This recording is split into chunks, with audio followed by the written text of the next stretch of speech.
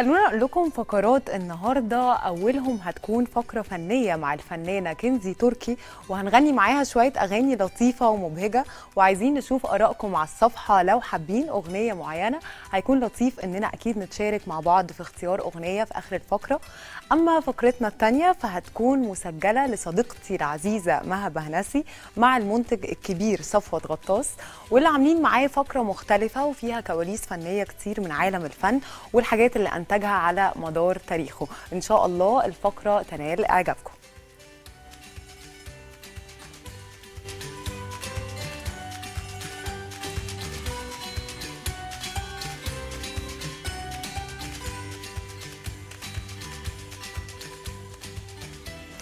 وإحنا بنتكلم دايما على كورونا واللي حصل فيها هيبقى الاقتصاد هو أكبر عنوان في الأزمة اللي حلت بالعالم كله. وربما تكون سبب في تغيير سياسات دولية وعالمية كبيرة لدرجة إن محللين على مستوى العالم بيقولوا إنها السبب في الإطاحة بترامب بسبب إنها وقفت على يعني وقفت على كل خططه. لكن في مصر كان الموضوع الحقيقة مختلف. كان مختلف بفضل ربنا في الأول والآخر وفي نفس الوقت كان مختلف مختلف بسبب إننا كنا بندير الأزمة على مستوى الإمكانيات المتاحة عندنا.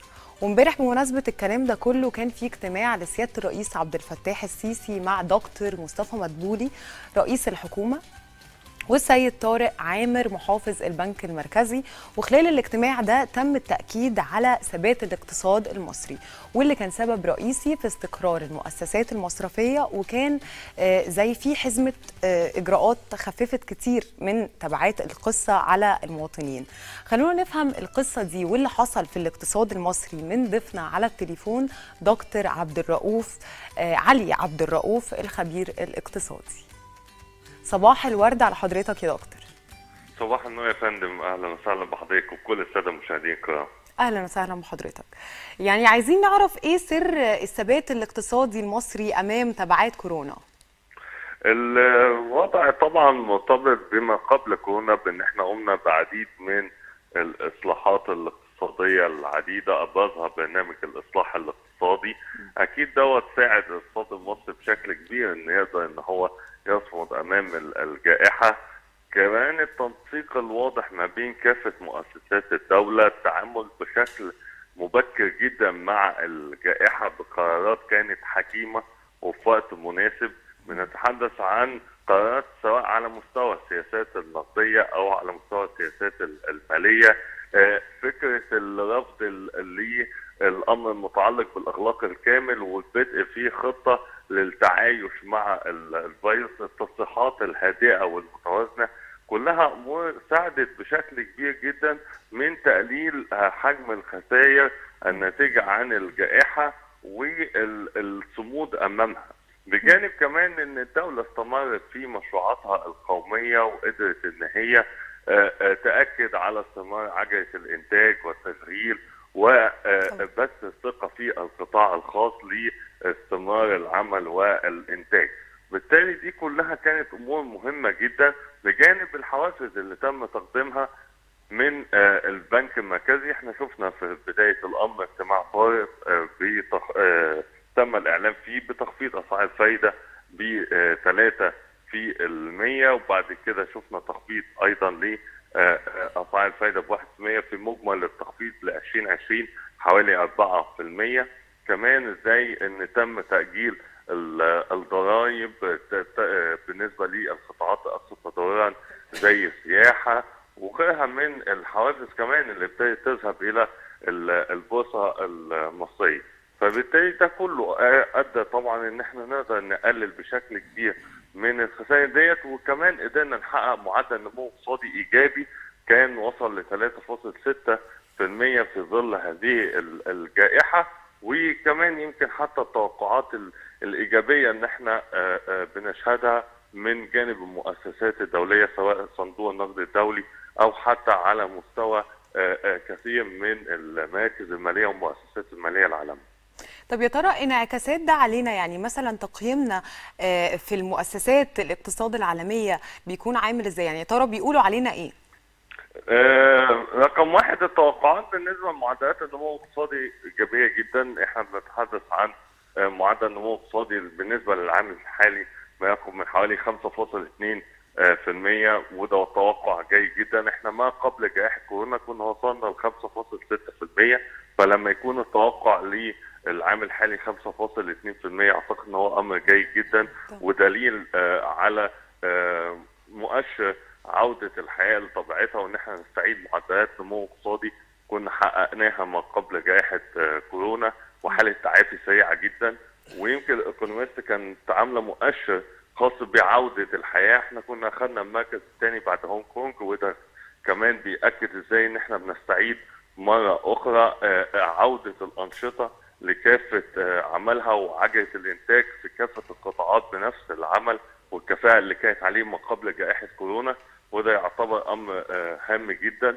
كمان إزاي إن إحنا بنشوف مؤسسة بحجم صندوق النقد الدولي اللي بتشيد بالسياسات الاقتصادية في مصر والإصلاحات الاقتصادية في ظل إن إحنا كمان بدأنا ما يعرف بها آه، بالجزء الثاني من الإصلاحات الاقتصادية أو البرنامج الإصلاح الهيكلي وده برنامج مهم جدا بدأنا بيه من السنة دي وهيستمر على مدار ثلاث سنوات. والغرض الرئيسي منه رفع نسبة مساهمة قطاعي الزراعة والصناعة في الناتج المحلي الإجمالي المصري بجانب طبعا آه، قطاع الاتصالات وتكنولوجيا المعلومات. وده كمان هيبقى ليه مردود مهم جدا على تخفيض لمعدلات البطالة والتضخم وأيضا إن هي آه، يوفر لنا مزيد من فرص العمل وهيعزز القدرات التصديرية بالنسبة للاقتصاد المصري. طيب بالنسبة يا فندم لاجتماع امبارح كان في كلام عن العملات البلاستيكية فيا ترى إيه فايدتها؟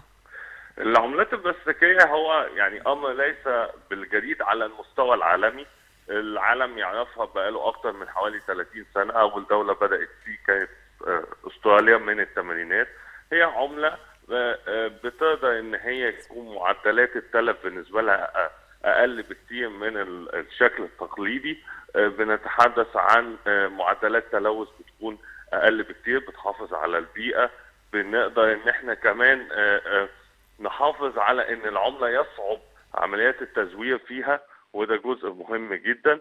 إحنا عندنا المطبعة الجديدة اللي في العاصمة الإدارية الجديدة دي هتقدر إن شاء الله بإذن الله ان تفتح لنا العمله في شهر نوفمبر القادم بإذن الله. وكان يمكن حتى في استعراض للشكل الجديد للعملة أمام آه، آه، رئيس الجمهورية أمس في الاجتماع. وإن شاء الله بإذن الله تبتدي تطرح على آه، فئة ال 10 جنيه وال 20 جنيه وإن شاء الله بعد كده يتم تعميمها. هي يمكن من ال- الشكل الحضاري كمان للعملة لأن كمان إحنا شفنا أكتر من حوالي 30 دولة بتستخدم هذا النمط من العملات. فبالتالي من الجيد إن إحنا نكون بنواكب الاتجاه العالمي في هذا الأمر. بشكرك شكرا جزيلا الخبير الاقتصادي الأستاذ علي عبد الرؤوف. يعني بما إن الجو اليومين دول حر قوي قوي قوي وإمبارح كان حر جدا النهارده أحر. خلينا نروح نطمن على حالة الطقس ونرجع لكم تاني.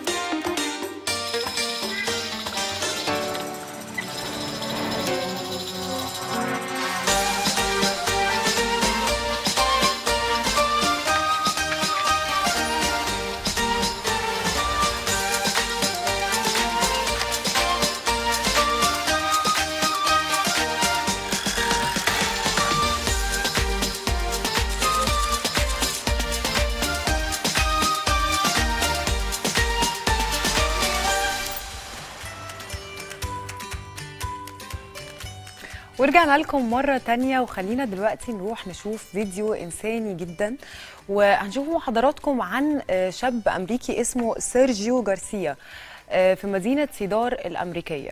قرر إنه ينزل البدروم اللي كان مليان مية من الفيضانات اللي في المدينة بقالها كام يوم عشان سمع صوت قطة بتستغيث وأصحابها مش عارفين يجيبوها. الشاب قرر إنه ينزل تحت العقار عشان يخرج القطة وزي ما إحنا شايفين هو بيخرجها لأسرتها وطبعا في فرحة كبيرة جدا عشان إنه قام بإنقاذها وكمان قاموا يعني قاموا بشكره جدا على شجاعته والفعل الإنساني اللي عمله. طبعا شيء إنساني ومعبر للغاية وبيدل على إننا لازم طول الوقت يبقى عندنا شعور بالحيوانات خاصة إنها لا تمتلك القدرة على الشكوى وما بيعرفوش يعني يشتكوا زي ما الناس بتقول يعني دايما. ف هي فيديو مؤثر جدا جدا جدا. خارج هو دلوقتي أهو. واداها اهو لاصحابها بدروم كده تحت الأرض ومليان مية. وناس كتير قوي. يعني شايف ناس كتير قوي موجودين عشان ينقذوا القطة ومهتمين قد إيه إن هي لازم تطلع. ما قالوش يعني اللي هو خلاص مش مشكلة ولا حاجة.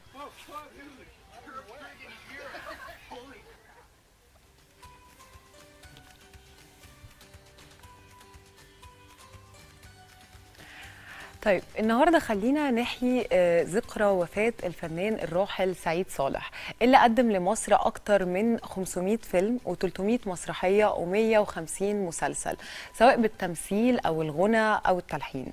سعيد صالح كان كوميديان فريد الناس حبت تمثيله على طبيعته بشكل كان بياخد القلوب وكان من الفنانين العاشقين للمسرح وكان على فكرة كان مسمي نفسه دايما فتى المسرح بيطلق على نفسه ده. وكان لآخر وقت بيقوم بالتمثيل المسرحي لدرجة زي ما قلنا كده مثل ما يقرب من 300 مسرحية. تفاصيل كتير هنشوفها في التقرير اللي جاي ونرجع لأول فقراتنا.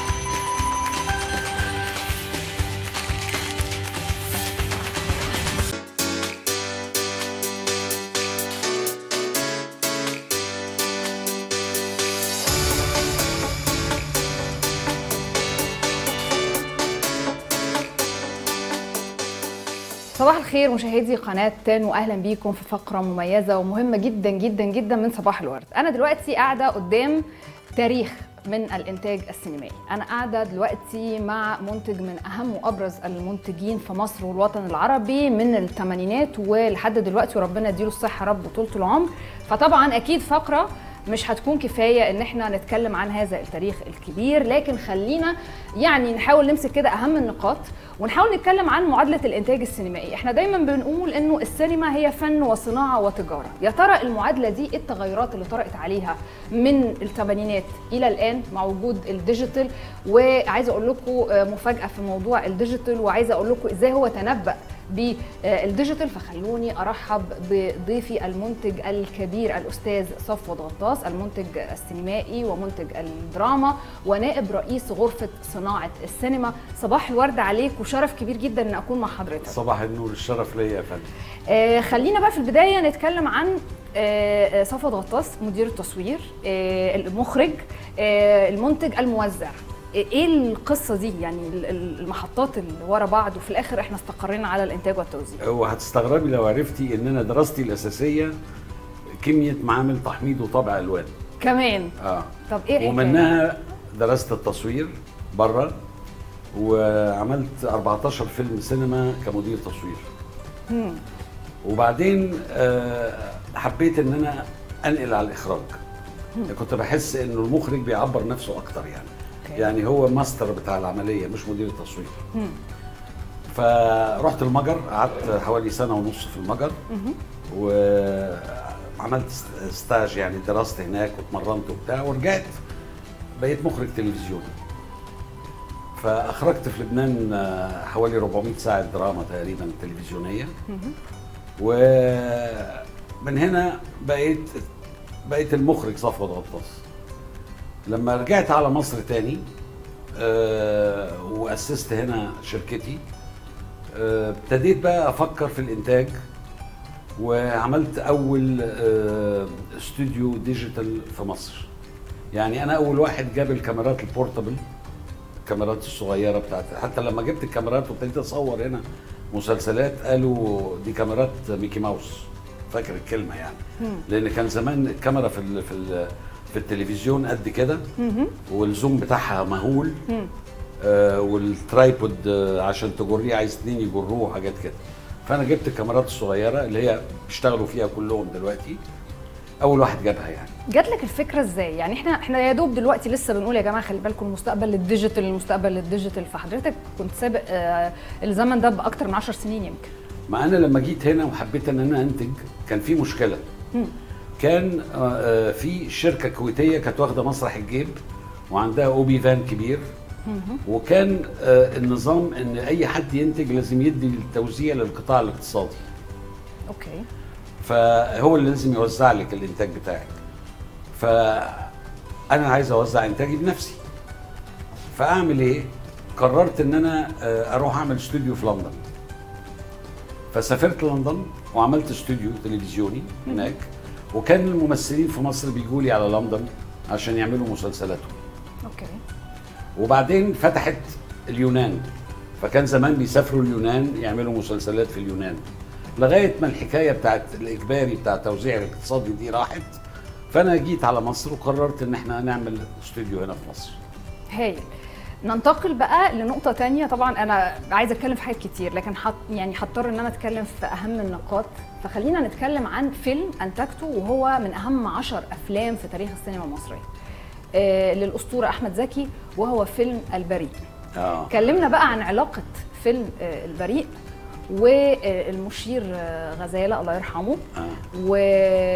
وإن هو لولا المشير أبو غزالة وتدخله ما كانش الفيلم ده شاف النور. في كواليس كده فيها سسبنس كتير ورا فيلم البريء. آه، بصي هقول لحضرتك حاجة. آه لما جينا نعمل فيلم البريء آه أنا كانت يعني تربطني آه علاقة شغل آه وصداقة جامدة جدا بالفنانه سميرة أحمد. ما كناش اتجوزنا لسه. ف هي اللي شجعت. أنا قعدت مع وحيد حامد إداني السيناريو قال لي اقرأه. كنت أنا بحضر فيلم امرأة مطلقة لسميرة سميرة ونجلاء فتحي وفريد شوقي ومحمود ياسين وكده. فأنا خدت السيناريو اديته لسميرة قلت لها اقريه. قبل ما اقراه أنا يعني. فهي قرت السيناريو قالت لي ده حلو جدا نعمله. فرحت عند وحيد حامد على المريديان وقعدنا. قلت له وحيد أنا هاخد الفيلم ده. فقال لي أنا عندي شرط إنه يكون المخرج آه، عاطف الطيب. أوكي. قلت له أنا كان في تفكيري عاطف الطيب. أنا عايز أشتغل معاه وكان هو عامل آه، مسلسل عامل فيلم لنبيل عبيد آه، مش فاكر اسمه إيه بالظبط. المهم يعني فقلت له أنا حابب أشتغل مع عاطف الطيب فممتاز جدا. ومضينا مع عاطف الطيب ومضينا مع وحيد حامد وابتدينا نعمل فيلم البريء. في نفس الوقت اللي بصور امرأة مطلقة. أوكي. آه، عشان نعمل فيلم البريء خدنا كل التصاريح اللي ممكنة يعني خدنا 26 تصريح لأنه له علاقة بالجيش وله علاقة بالمعتقلات وله علاقة بالبوليس وله علاقة. فاخدنا التصاريح كلها وعملنا الفيلم. الفيلم أساسا آه، السيناريو معمول مجهل الزمن بتاعه. يعني الزمن بتاعه ما تعرفيش مش بيعبر عن حقبة زمنية معينة. مش بيعبر عن حقبة زمنية معينة يعني. إنما واضح إنها سابقة يعني. فعملنا الفيلم وبعدين خدنا الرقابة عليه وكل حاجة وفوجئنا إنه كان الجيش طالب يتفرج على الفيلم. أوكي. فعرضنا الفيلم عندهم قالوا لأ الفيلم فيه آه، خطأ في اللبس الكاب آه، مش فاكر بقى كان صقر قريش ولا النسر. إحنا عاملين غلط يعني. ففي حاجات لازم في تتعاد خطا في الأزياء. في خطأ في الأزياء. وطلبوا إن الحاجات دي تتصلح وحاجات كده. وكان في خطأ كمان مش خطأ كان هم اعترضوا على الدور بتاع محمود عبد العزيز اللي كان طالع ظابط فيه. المهم الفيلم وقف وبقينا في ديبيت هنعمل إيه يعني وحاجات كده. آه، كان وقتها الدكتور أحمد هيكل وزير الثقافة فسميرة كلمته. فكلم آه، المشير أبو غزالة وكده فقال ابعتوا الفيلم يتعرض في التوجيه المعنوي وقادت الأفرة وراحوا يتفرجوا عليه. فبعت الفيلم لما اتفرجوا عليه آه قالوا لا الفيلم ما يتعرضش يعني. ف كانش في حل تاني غير لازم ناخد موافقة المشير يشوف الفيلم بنفسه يعني. هو أنا رحت بالليل شلت النهاية بتاعت الفيلم. لأن كانت اللجنة العليا للرقابة كانت معترضة عليها. فأنا رحت شلتها. وقفلنا عند محمود أحمد زكي لما بيمسك الرشاش وكده ما بنوريش ال- المجزرة اللي حصلت يعني. وعرضنا الفيلم آه، إجا المشير أبو غزالة وإجا الدكتور أحمد هيكل وزير الثقافة وإجا آه، اللواء أحمد رشدي كان وزير الداخلية. وجم على قاعه الوزير في مدينة السينما يتفرجوا على الفيلم. يوم الساعة 10 الصبح يعني. فجم اتفرجوا على الفيلم وإحنا حاطين إيدنا على قلبنا. المهم لما النور نور بعد ما خلص الفيلم فكان آه، في لواء نمر ماسك المخابرات فجه جري قال له للمشير حضرتك عاجبك الدور بتاع محمود عبد العزيز؟ فرد عليه قال له ده فيلم سينما انت إيه دخلكم كل واحد فيكم فاكر نفسه محمود عبد العزيز. لا ده دور آه، جوه فيلم سينما. فأنا اطمنت شوية من الكلمة وبعدين قال مين اللي عامل الفيلم؟ فوقفنا أنا ومدام سميرة. فقال أنتوا عايزين تقولوا إيه في الفيلم ده؟ فرد طبعا الله يرحمه جمال الليسي كان موجود قال له يا فندم عايزين نقول كنا فين وبقينا فين؟ قال له بس ده مش باين. فطلب حطوا لوحة في بداية الفيلم تقول التاريخ يعني إنه زمن ماضي ده اتعمل الفيلم ده لأن في الفيلم بنقول على ده الخدمة العسكرية بنقول الجهادية وحاجات كده فالجهادية دي كانت أيام الملك يعني فبيقول آه، حطوا سب يعني قولوا فين إمتى اتعمل هل. في اللي حضر جلسة المشاهدة دي حضرتك والفنانة سميرة أحمد ولا كان كمان الراحل عاطف طيب موجود؟ لا ما كانش موجود عاطف طيب ولا ولا كان موجود آه، وحيد حامد. آه الاثنين الله يرحمهم طبعا من أعظم الناس اللي اشتغلت معاهم في حياتي يعني أكيد ف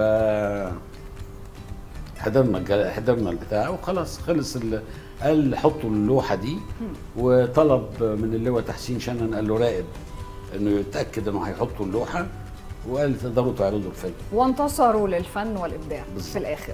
أما نيجي نتكلم على ميزانية فيلم البريء يعني يمكن وقتها كان ميزانية ضخمة جدا مقارنة بالميزانيات اللي كانت موجودة في السوق وأجور الفنانين كمان يمكن لو الناس سمعتها دلوقتي هتستغرب يعني. أيوه آه وقتها الفيلم كلف 400 ألف جنيه.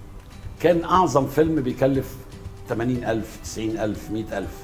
الفيلم ده كلف 400 ألف جنيه. وكان رقم كبير يعني. طبعا.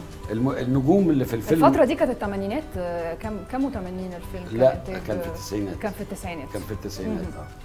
آه، أفتكر 94 حاجة كده يعني. أوكي. ال ال الأجور بتاعت النجوم يعني لو ضربتيها لو تعرفي إنه محمود عبد العزيز واخد 26000 جنيه. آه عاطف الطيب 11000 بس بمعايير التسعينات وقتها يعني آه اللي هو كانت دي أرقام الس... أرقام السنة اللي بتدفع آه. آه. أحمد زكي 25000 جنيه. فالأرقام كانت آه معقولة يعني. يعني في وقت الفترة دي يعني. حضرتك أشرت لل...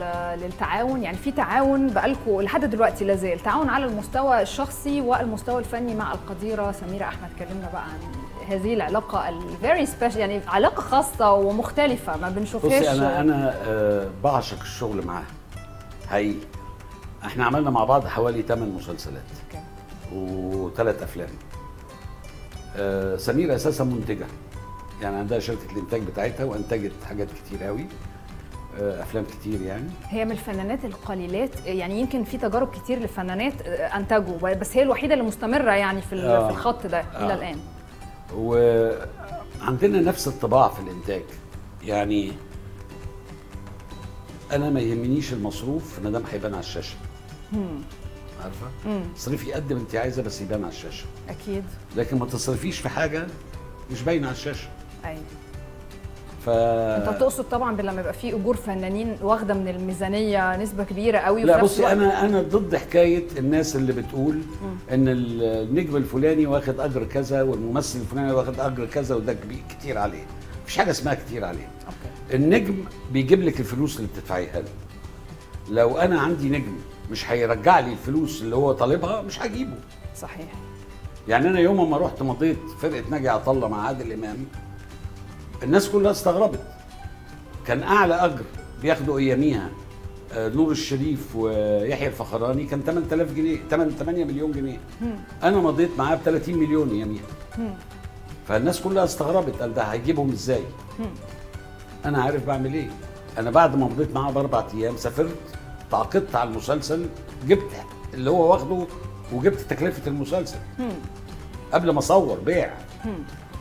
فيعني آه، النجم بيجيب لك فلوسه. أيوه. الأرقام دي ما بت... لأن بتلاقي أوقات ممثل طلع في في مخه يزود أجره. فيزود أجره ما حدش هيجيبه تاني. لأن مش هيجيب لو ما جابش الفلوس اللي زودها مش حدش هيجيبه. يبقى هو حرق نفسه. على نفسه. آه عايزين نتكلم بقى عن حكاية ال 100 جنيه اللي خصمتها من رامز جلال صح؟ في مسلسل الرجل ال- الأحمر. الرجل الآخر. لا، الرجل الآخر عفوا. الرجل الآخر. إيه حكاية ال 100 جنيه اللي... لما جينا عملنا الرجل الآخر آه، المسلسل بطولة نور الشريف ومدام ميرفت أمين okay. وكان أول يعني أول ظهور تقريبا لحلا شيحة. و- وبعد ما ابتدينا نعمل بروفات جبنا أحمد أحمد زاهر.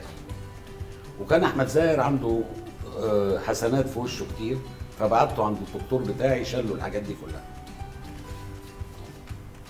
وكان من ضمن الأدوار في آه، دور رشحوا فيه رامز جلال فجالي رامز؟ أنت عارفة رامز أسلوبه يعني آه فظيع. يعني. أيوه ده حقيقي. فجه هو تهريج ومش تهريج وبتاع قال لي أنا عايز 10000 جنيه. قلت له الميزانية 7000 مش هدفع لك ال 10 قال لي عشان خاطري وبتاع أنا عايز 10000 فقلت له طيب سبته شوية يعني. وشوية وجالي تليفون من سميرة طلع بره.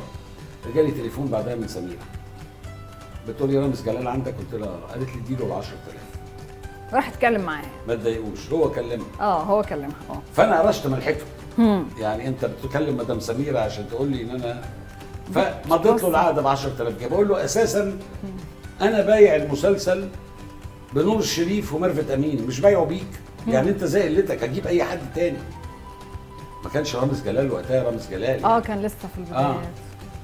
فمضيت له العقد ب 10000 جنيه. أنا عادة عندي نظام إن كل يوم الصبح لازم يجي لي الحوافز بتاعة المصروفات اللي حصلت قبلها بيوم أيوه. عشان أراجعها يوم بيوم. فبراجع الحوافز الصبح لقيت فيه 100 جنيه مفرش. كانوا بيصوروا في كازيو. قيمة مفرش. فندهت لمدير الإنتاج قلت له أنتوا مش دافعين إيجار للكازينو اللي بتصوروا فيه؟ قال لي آه. قلت له الكازينو ما فيهوش مفارش. قال لي لا فيه. قلت له أمال إيه 100 جنيه مفرش دي؟ قال لي أصل رامز جلال ما كانش حافظ الحوار. فهو قاعد كتب الحوار على المفرش علشان يقوله ينقل من المفرش يعني. فكتب الحوار الجمل بتاعته على المفرش. فالمفرش باظ. فدفعوهم 100 جنيه حق المفرش. قلت له مخصوم عليه. يعني هو أخد 9900 جنيه. طيب عايزين نتكلم عن فيلم الشنطة و- وكواليس هذا الفيلم وهو دلوقتي بيجهز بقى يعني تجربة إن أنت تبتدي تعرض الأفلام بتاعتك كمان آه، في الخليج. لا ما هو كل الأفلام المصرية بتتعرض في الخليج. أيوه. وفي السعودية دلوقتي عشان بقى في سينمات آه، الشنطة آه، المشروع بتاع تامر عبد المنعم شريكي اللي إحنا عملنا شركة جديدة بقى لها ست أشهر في دبي وعملنا شركة تانية في أبو ظبي. وهو اللي كاتب السيناريو. وكان عنده الفيلم ده جاهز. فقررنا إن إحنا الفيلم بتدور أحداثه في دبي. فقررنا إن إحنا نعمله كله في دبي. فتعاقدنا مع النجوم وسافرنا خدنا الكرو كله وصورنا في دبي الفيلم كاملا. عملنا يوم في مصر في السيرك بس وخلاص. إنما فيلم مصري يحمل الجنسية المصرية. أيوه طبعا. واخد رقابة من مصر ومتسجل في غرفة صناعة السينما وله شهادات غرفة وكل حاجة يعني. وفيلم طلع ظريف فيلم كوميدي ظريف يعني. ودلوقتي آه، مفروض إنه بس هوجة الأفلام الكبيرة خالص دي تعدي آه، ينزل يتعرض في الخليج وفي السعودية. في تجربة لطارق آه، طارق ابن حضرتك. إحنا بنقول ابن الوز عوام بقى. يعني تيمة ابن الوز عوام. يعني هو كان بيميل للإنتاج زيك ولا أنت اللي بتدخله في ال business بتاعك عشان يبقى ماسكه معاك ولا؟ يعني فكرة إن هو يتجه للإنتاج كان آه، بسبب إيه؟ وكلمنا بقى على الزيارة البروجكت بتاعه.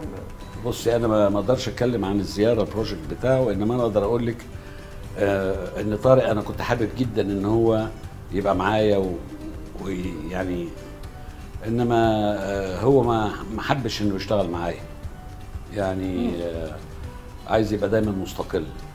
فهو عمل شركته في لبنان. آه طارق عايش في إسبانيا أساسا بين إسبانيا ولبنان وعنده الجنسيه الإسباني.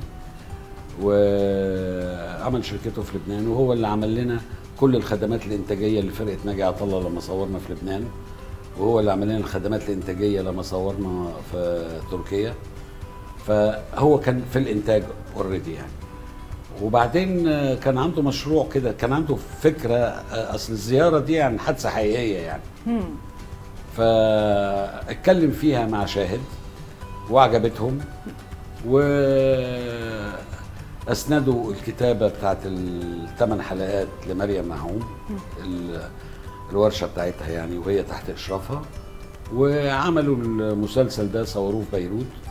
هو طبعا عشان كان أساسا ال sales director بتاع يونيفرسال ال Latin American side تيليموندو يعني.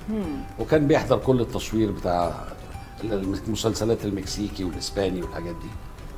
فهو جاب مخرج آه، من هوليوود وجاب مدير تصوير من إسبانيا وجاب ال stunts كلهم من إسبانيا والشركة اللي بتعمل ال prosthetic اللي هي ال- الأشخاص والماسكات والحاجات دي كلها.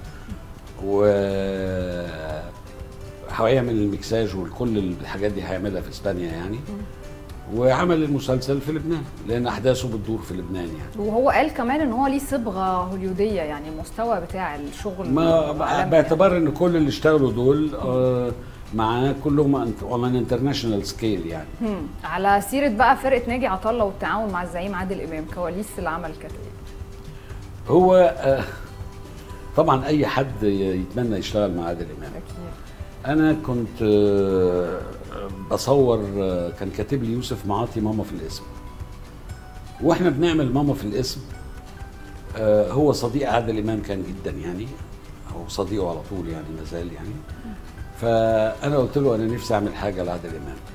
قال لي عادل إمام ماضي مسلسل بس ما أعرفش شكله مش هيتعمل. قلت له طب كلم عادل لو هيتعمل المسلسل أو لو مش هيتعمل أنا ممكن أعمل له مسلسل.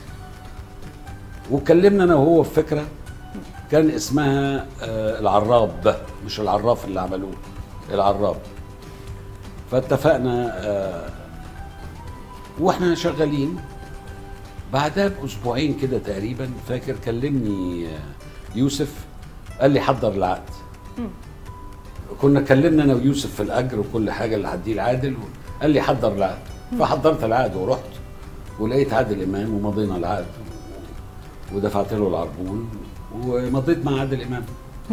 كده ابتدى الفكرة يعني. ده كان التعاون الوحيد اللي كان ما بينكم ولا كان في حاجات أفلام قبل كده؟ لا أنا ما اتعاملتش مع الزعيم في أفلام قبل كده. هو كان فرقة ناجي عطا الله بس. هو فرقة ناجي عطا الله. وكانت it was nice experience يعني. محتوى السينما والدراما مؤخرا بقى يتجه للمواضيع الوطنية. إحنا شفنا الممر شفنا تجربة آه، الاختيار بالجزئين الاثنين شفنا آه، هجمة آه، مرتدة. رأيك إيه كمنتج؟ بصي أنا اولا دي حاجة عظيمة جدا يتعمل مستوى إنتاج وطني بهذا الشكل. مستوى كان جيد جدا. إحنا. كان نفسنا نشوف فعلا حاجة بالمستوى يعني حاجات ما اتعملتش قبل كده. و... وأنا عارف إن ده كله طبعا بالدعم بتاع الأجهزة المعنية هم اللي دعموهم دعم كبير جدا عشان يعملوا الحاجات دي. بدون الدعم ده ما كانش منتج يقدر يعمل الحاجات دي. يعني لولا الدعم ده ما كانش حد يقدر يعملها. أكيد. ف هم كان عندهم ال... الإمكانية إنه ياخدوا الدعم بتاع الأجهزة المعنية إنه يقدروا يساندوهم ويعملوا يطلعوا الشغل الكويس ده. بس ده كان مهم جدا. إيه أكتر أو إيه أحدث حاجة بتحضر لها حضرتك دلوقتي؟ دلوقتي عندنا مشروع لشاهد. خدنا الموافقة عليه. آه، هيت- هيتصور كله في دهب.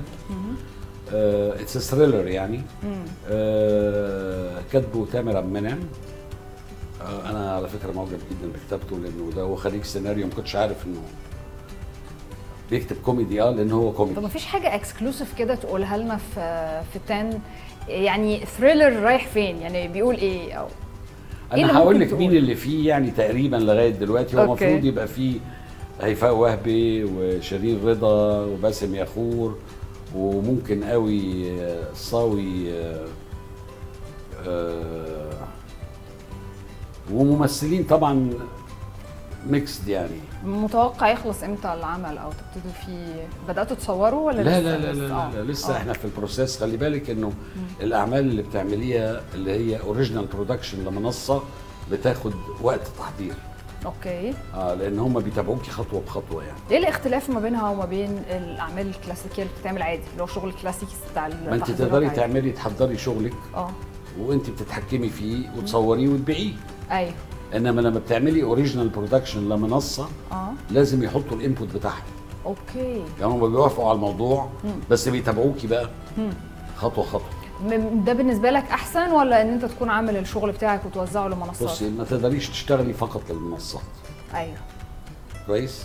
يعني المنصة تقدري تعملي عملين في السنة للمنصات. okay.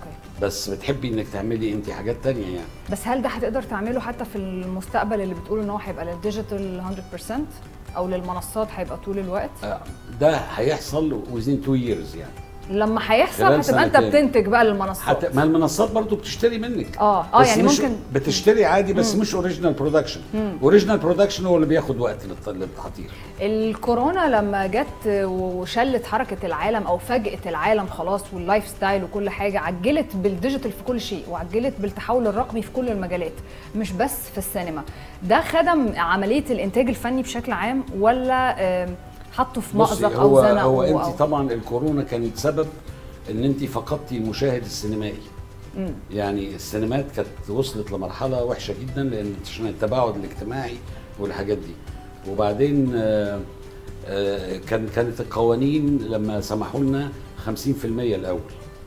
يعني 50% استيعاب من طاقة صاله العرض يبقى عندك كرسي فاضي وكرسي مليان. وهكذا يعني. دلوقتي بقى 70 فتره آه دلوقتي بقى السبعين. 70 آه آه, آه. آه بس أساسا لما سمحوا ب 70 كان ابتدت بقى الأفلام الكبيرة تنزل.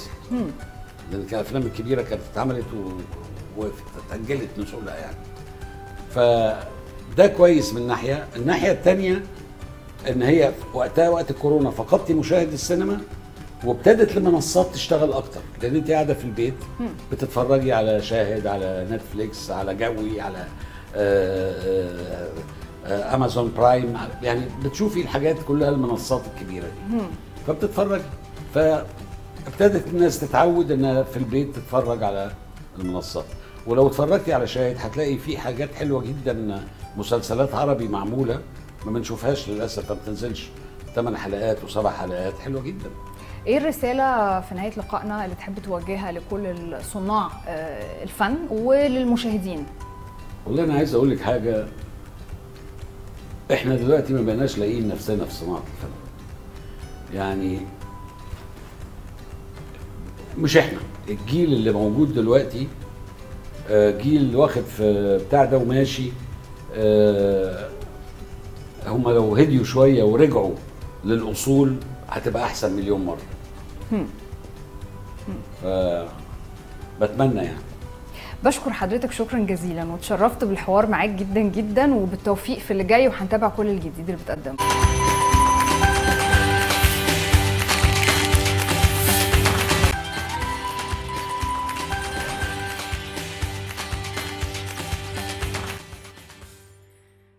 قصة حب ناقصها شرح والكلام لسه له باقي واللي جاي مش كله جرح حتى لو جاي بفراقي قصة حب ناقصها شرح والكلام لسه له باقي واللي جاي مش كله جرح حتى لو جاي بفراقي شوف وسط الحزن فرح وحسني بقلبك تلاقي.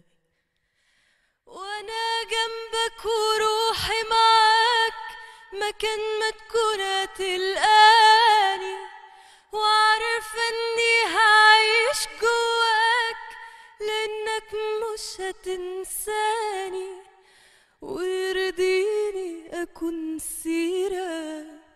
تجيب الفرح على بالك ويرضيني تعيش عمرك زي ما كنت عايزالك حكاية أنا وأنت أولها هسيبها لك تكملها. الله. الله. بجد برافو والله بجد. طيب خلينا نبتدي فقرتنا التانية زي ما ابتديناها بأجمل صوت. مفيش أجمل من الفن واللي بيكون عن موهبة ودراسة.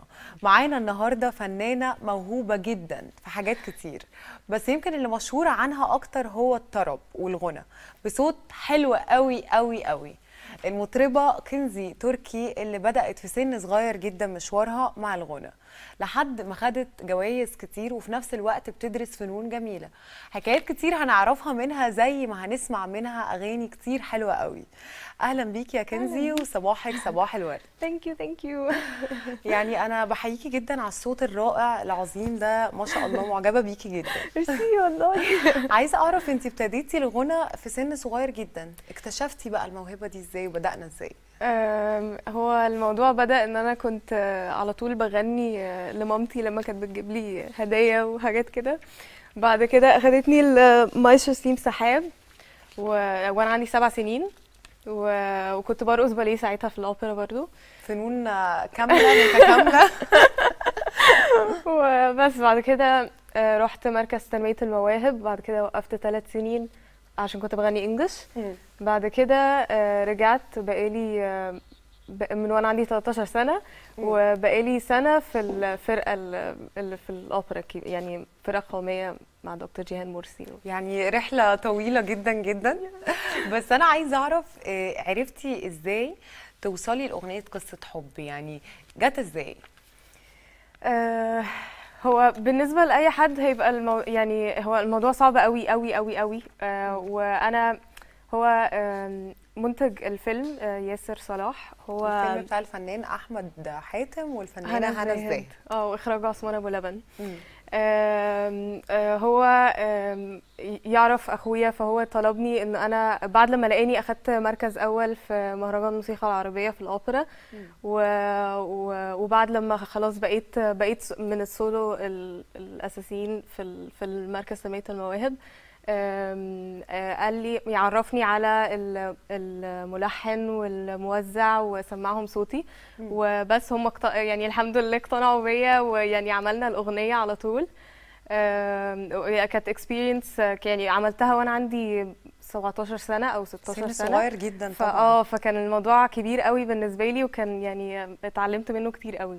انت عارفة ان الناس دايما ما كانتش يعني لما بتسمع الأغنية مش بتصدق سنك يعني ما كانتش بتقتنع إن سنك صغير للدرجة دي فدي حاجة بجد حلوة قوي يعني ما شاء الله مبهرة جدا.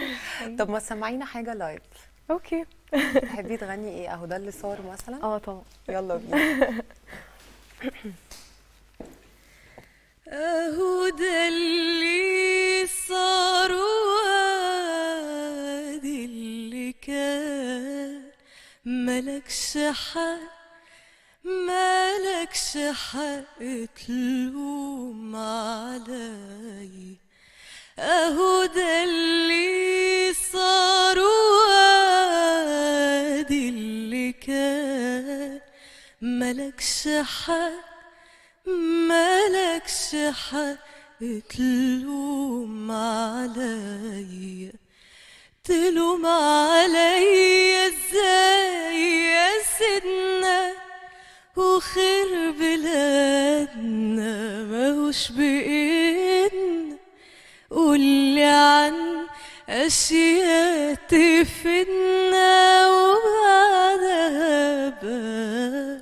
لوم عليا اهو ده اللي صار وادي اللي كان ملكش حق ملكش حق تلوم عليا يعني أنا كان نفسي أشاركك بس للأسف يعني هبوظ لك الأغنية خالص. كان نفسي أغني معاكي بس مش قادرة. يعني بقى ما عنديش جرأة أغني قدامك. لا. فظيعة فظيعة بجد. طيب أنا عايزة أسألك انت قلتي لي إن انت بادئة في الأوبرا من سن صغير قوي سبع سنين. علاقتك بالفنان هاني شاكر عاملة إزاي؟ خصوصا إن انت غنيتي معاه أعتقد كذا مرة. آه هي فالعلاقة إيه؟ آه، هو سمع أغنية قصة حب. فبعدين بعدها آه، طلب إنه يشوفني عشان يسمعني لايف عشان طبعا في الحقيقة غير اللي في الاستوديو وحاجات كده. فبس فلقيته فجأة فقال لي يعني إن شاء الله حفلة من الحفلات هبقى آه، هبقى أقدمك للجمهور وتيجي معايا وكده. آه، بس جه عيد الحب 2019 أو 18 متهيألي 19 آم، آه، قال لي إنه إنه هو عايز يوميها يستضيفني. يعني يقدمني للجمهور. يعني. يدعيكي تغني معاه. آه آه، فغنينا ليه قلبي ليه. وغنيت آه، سهر الليالي بعدها لوحدي. بعدين بعدها بسنة الأوبرا هي ال- اللي طلبتني إن أنا أغني في في الحفلة بتاعته بس قبليه في اللي هي الفقرة اللي قبليه. آه، بس ودي ده اللي حصل. طب انت يعني لو كنت الأول متوترة إن انت هتغني بقى قدام الفنان هاني شاكر وكده آه لما غنيتي في منتدى آه الشباب قدام سيادة الرئيس عبد الفتاح السيسي كان إيه شعورك؟ عايزة أعرف اللحظات دي بالظبط كنت حاسة بإيه؟ بصي هقولك هو نفس الشعور اللي حصل مع آه، أستاذ هاني شاكر. هو بالظبط اللي حصل في المنتدى إنه backstage الموضوع بيبقى موتر خلف قوي. المسرح؟ آه آه، بيبقى بيبقى في توتر آه، يعني هل أنا هغني كويس؟ أنا ممكن أبوظ حاجة؟ أنا ممكن أعمل مش عارفة إيه؟ بتاع. بس أنا بجد أنا بحب المسرح قوي وبحب interact مع الناس من على المسرح. بحب أغني وأبص لهم ويعني بتبسط. وبحس إن أنا يعني حتى في الأوبرا رغم التوتر ورغم كل ده لما بطلع المسرح بحس يعني في الأول كده بيبقى فيه توتر وبعدين في الآخر خلاص أنا في بيتي. ف... ف... فهو ده بالظبط اللي حصل في منتدى شباب العالم. بس أنا الفكرة كمان أنا يعني في لحظات معينة كده بحس إن أنا عامية مش شايفة أي حد خالص ودي حاجة كويسة ويعني ما كانش التوتر مليكي مثلا عشان آم، واقفة لا في الأول؟ ما هو يعني في الكواليس بجد كانت صعبه قوي وكان توتر مش طبيعي لينا كلنا عشان هو كان اوبريت فكان كان معانا أكتر من كنا سبعة أو حاجة كده. آه، فكلنا كنا بس يعني والله آه، كانت ال ال الأجواء بتاعت ال ال ال الحفلة الحفلة دي كانت حلوة قوي ويعني ما كنتش خايفة خالص الحمد لله. أيوه. طب بصي أنا بصراحة هستغلك جدا. أنا مش قادرة ما بطلش أسمع صوتك. بدل ما أنا بسمعه على الموبايل عايزة أسمعه live يلا فتيجي. نسمع زي الهوا؟ okay. يلا.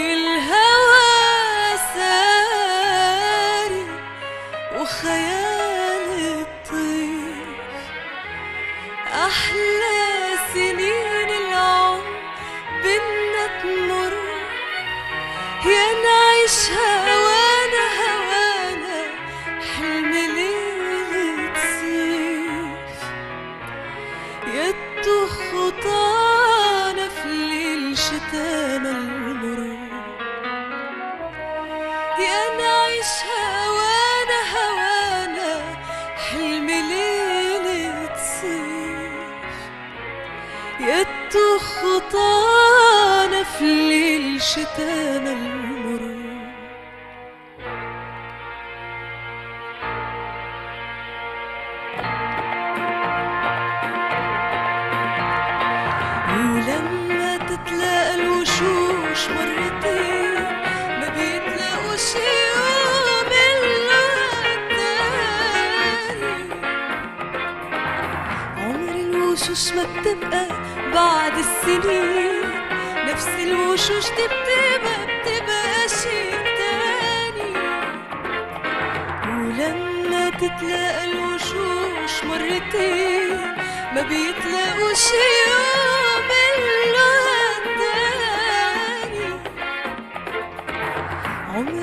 الوشوش ما بتبقى بعد السنين. نفس الوشوش دي بتبقى شيء تاني. بتبدل الأيام ملامحنا ترعشنا تنعشنا تشوشنا. بتبدل الأيام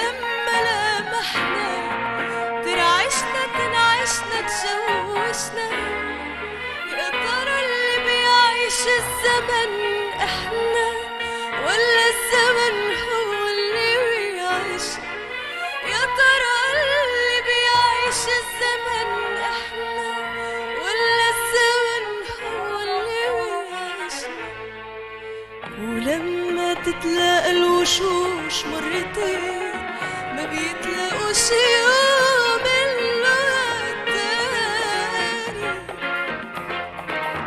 عمر الوشوش ما بتبقى بعد السنين. نفس الوشوش دي بتبقى بتبقى شيء تاني. ولما تتلاقى الوشوش مرتين ما بيتلاقوش يوم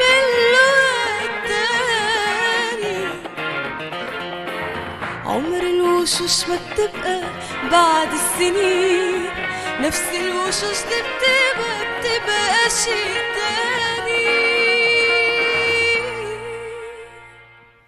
الله الله الله الله الله. بجد معجبة بيكي جدا جدا. في تسقيف حياه في كنترول بيقولوا لي. الناس كلها معجبة. مش أنا لوحدي. طيب أنا دلوقتي عايزة أفهم. انت بتدرسي آه، فنون جميلة وشاطرة في الرسم جدا جدا. فازاي بتعرفي تعملي مساواة بين الرسم وبين الغنى وبين المواهب الكتير الموجودة دي؟ هو بجد ال- الموضوع لو لو في حد مش حابه هيبقى صعب قوي عليه. يعني حتى حتى وأنا حابة الموضوع في ساعات آه، غصب عني باجي على حاجة أكتر من حاجة عشان آه، يعني ما يأثروش على بعض. طب بتبدي إيه دايما؟ آم، والله قولي الصراحة. لا والله أصل على حسب. يعني أنا ساعات كتيرة قوي مثلا يعني أنا بحب أغني على طول بحب أرسم على طول. ساعات ما ما ببقاش عايزة أعمل أي حاجة خالص. فعادي باخد break كده وبعمل اللي أنا حاسة عايزة أعمله. يعني أنا دلوقتي مثلا مش عشان مت... يعني ال... ال... الأغاني وال... والرسم بي بي my feelings. آه، بطريقة ممكن أنا مش عارفة أشرحها بالكلام. معانا الرسومات بتاعتك على الهواء لا فنانة بجد شاملة وكاملة. مواهب متعددة جدا بس ما شاء الله. مين طيب؟ مين الرسمة؟ احكي لي آه، قصتها. آه، دي مامتي. مامتك؟ آه، وهي صغيرة. الله يرحمها. الله يرحمها و. ده كان. استنساخ ل استنساخ، عن. ال Starry Night بتاعت فان جوخ Okay. ده أنا وأنا على المسرح انت راسمة نفسك. إزاي قدرتي ترسمي كل ال characters آه دي دي صعبة قوي. ما هي مقاسها هي بجد قد كده؟ يعني كمان صغير مصغره قوي. للدرجة آه دي؟ كانت صعبة قوي بالنسبة لي بصراحة. وحتى في حتت مش خلصانة بس أنا وقفت لحد هنا عشان يعني طب إزاي إزاي كمان قدرتي تعملي فرق ال light اللي من قدام لورا في حتة قد كده؟ يعني طب بجد؟ الموضوع كان أنا قعدت فيها كتير قوي وزهقت منها كتير قوي آه، بس أصريتي، ها؟ آه لأ أصريت عشان كمان أول مرة ليا أعمل حاجة زي كده ف.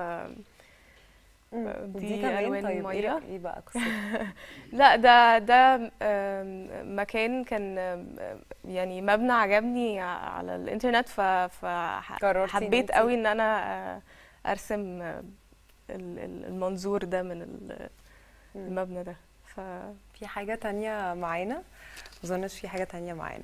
طب قولي لي انت بتفكري تعملي إيه تاني؟ يعني بما ان في كذا موهبة مفيش موهبة مثلا ثالثه مدفونة شوية. إيه أخبار الباليه طيب. لا والله أنا متضايقة قوي إن أنا بطلت باليه بس يعني خلاص بقى. أنا آه، نفسي أنا مش يعني هدفي مش بس إن أنا أتعرف ككنزي اللي بتغني أو كنزي اللي بترسم بس. أنا عديت بحاجات كتيرة قوي في حياتي وخسرت من أهم يعني أهم ناس في حياتي و, و ويعني عشت صعوبات آه، صعبة قوي إنه حد يبقى عنده آه، يعني أنا دلوقتي 20 سنة م، في حاجات كتيرة قوي من وأنا صغيرة. آه، فأنا حابة إنه أنا أقدر إن أنا أشارك الناس بال ب- بإنه مهما حصل في الحياة ومهما قد إيه هتقع لازم ترجع تقوم تاني عشان أنا بشوف ناس بيعدي عليها حاجات ممكن أقل شوية أو ما أقدرش أقول أقل بس يعني في حاجات الناس بيعدي عليهم حاجات ممكن تبقى صغيرة بالنسبة لناس كتير بس بتوقف لهم حياتهم خالص. ف... فأنا يعني حابة إنه أنا من خلال تجربتي في الحاجات اللي أنا اللي حصلت لي في حياتي آه، حابة إنه أنا inspire people إنه إنه يعني تلهمي الناس يعني؟ آه إنه إنه يعني إنه إحنا لازم نعيش وده هو ده ال- ال- اللي ربنا جابنا الدنيا إن إحنا نعمله. يعني حتى حتى لو يعني حتى لو إحنا في واحد لوحدنا في الدنيا بس إحنا لازم نعيش يعني. أنا يعني بضم صوتي لصوتك في حتة إن الناس فعلا لازم تعدي اللي بيحصل لها وما تقفش عند ده. وأنا يعني أنا عارفة إن في حاجات كتير قوي انت مريتي بيها وكبيرة قوي على أي حد وعديتي بيها في سن صغير جدا. فأنا يعني بحييكي على قدرتك يعني وشجاعتك إن انت تعدي كل ده وتكملي تاني و... وإن مفيش حاجة وقفتك. فتمثيل نسمع حاجة. يلا معلش هستغلك تاني. سمعينا إيه دلوقتي؟ آه ممكن أغني لك I have nothing ويتني هيوستن أوكي. Share my life, take me for what I am. Cause I'll never change. All my colors for you. Take my love, I'll never ask for too much. Just all that you are and everything that you do. I don't really need to look very much further. I don't wanna have to go where you don't follow. I won't hold it back again. This passion inside, I can't run from myself. There's nowhere to hide. Don't make me close one more door. I don't wanna hurt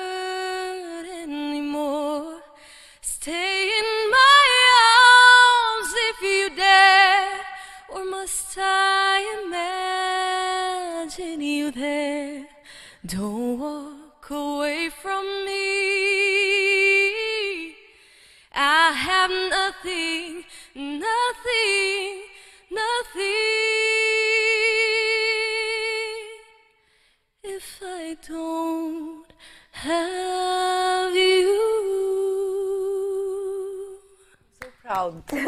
Proud. والله أنا فخورة جدا جدا.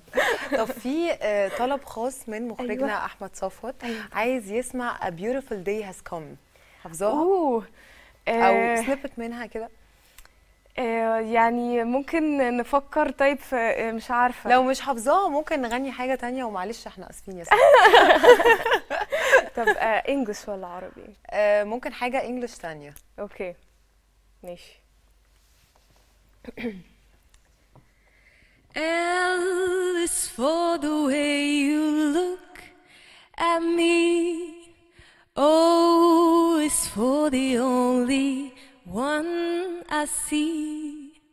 V is very, very extraordinary. E is even more than anyone that you adore. And love is all that I can give to you. Love is more than just a game for two. Two in love can make it take my heart, but please don't break it. Love was made for me and you. بجد واو. طب أنا عايزة أسألك سؤال. أنت لما في ناس كتير بتقول إن هي لما بتيجي تغني بلغة تانية غير لغتها مش بيعرفوا يعرفوا يعني يظبطوا صوتهم. ف... فبتحسي ده أو بتحسي إن أنت مش comfortable أو مش مرتاحة لما بتغني بلغة تانية؟ آه، لا والله. يعني أنا عشان أنا آه، كنت بغني انجلش وعربي من وأنا صغيرة. فعشان كده ممكن أنا في الأول خالص كان عندي مشكلة إنه الانجلش يعني العربي كان باين كأني بغني انجلش فاللي هو إيه ده في إيه؟ فبس لما رحت الأوبرا ورحت مركز تنمية المواهب اتعلمت إزاي أغني عربي بعرب و ويعني بطريقة more professional ده إنه أنا أغني يعني كده. بس فاهمة قصدك؟ عشان أيوة. يعني شفت ناس حواليا كتير قوي آه، يعني اتقال لي في الأول كتير قوي إنه ما ينفعش إن أنا أكمل في الاثنين ولازم يا ده يا ده. بس يعني هو بصراحة ال- الواحد لما بيبقى عنده إصرار آه، يعني يعني أنا من- بصراحة بحب أغني في بيتنا مش للناس يعني عشان الناس بتتأذي جامد لما بعمل كده. بس بلاحظ إن أنا لو جيت أغني إنجلش حتى لو بعرف أتكلم إنجلش ما ما ببقاش مرتاحة أو مش بعرف أغني بصوت كويس. أيوه أيوه لأ هو هو بيبقى بس لازم تمرين ولازم لأ لازم حاجات كتير قوي يعني يعني أنا في فترة حبيت إن أنا أتعلم أوبرا بس لما رحت عشان آه، أخش الكورس الدكتور قال لي إنه لأ انت لو عايزة تكملي في العربي بلاش تحطي نفسك في الحتة دي. بس آه، بس يعني أنا برضو برضو عايزة عايزة أجرب كل حاجة وأقف في الحتة اللي أنا عايزة أبقى مرتاحة هنا يعني مبسوطة هنا. طب عايزة أسألك آخر سؤال. مين من الفنانين اللي انت شايفة إن انت نفسك تغني معاه أو تعملي دويتو معاه أو يعني مين من الفنانين بالذات اللي انت مقتنعة بيه بزيادة فحابة إن انت تغني معاه؟ عايزين نقول له. والله أنا عايزة أغ... يعني نفسي أغني مع مع كل الناس و- وأنا بحب ناس كتيرة قوي قوي قوي أه، بس من أكتر الناس اللي بتنسباير مي دلوقتي إن أنا نفسي أعمل أغاني أه، زيه وبتعلم من منه قوي أه، حمزة نمرة. حمزة نمرة. آه أنا أنا بجد. بحبه قوي و... وعنده بجد أغاني بت مش بس فكرة إنه حد بيحب حد فأنا بحبك وأنا مش عارفة إيه لأ في بي- بيحكي قصة. و... وزي مثلا داري زي ال- القص- القصة اللي كان اللي لسه في ال... في الألبوم اللي فات. بجد في عنده أغاني بحسها انه إنه يعني هو بيشرح حاجة مش بس بيتكلم عن حاجة يعني بسيطة كده. ف فبس هو نمرة. طيب أنا يعني للأسف مضطرة أختم للأسف وأنا ما كانش نفسي الحلقة دي تخلص خالص معاكي. ولا أي كمان حد من. ال control كلهم مش عايزين الحلقة تخلص. ممكن ناخدك لما نخلص نقعد نغني جوه ما شوية. عنديش مشكلة. بصي أنا هختم وبعدين أرجع لك نقفل بقى بقصة حب. okay. خلاص؟ طيب للأسف خلصت حلقتنا. استنونا بكرة في يوم جديد وحلقة جديدة من برنامجكم. صباح الورد وما تنسوش تقولوا لنا رايكم في فقرات النهارده ورايكم طبعا في فقرة كنزي وصوت وكنزي وعلى صفحاتنا على الفيسبوك وعلى انستجرام وبرنامج صباح الورد بالعربي. بشكرك شكرا جزيلا جدا جدا جدا. أنا اتبسطت قوي الفنانة كنزي تركي. أنا كمان اتبسطت معاكي قوي قوي قوي يلا بينا نختم بقصة حب. يلا. أحلى ختمة.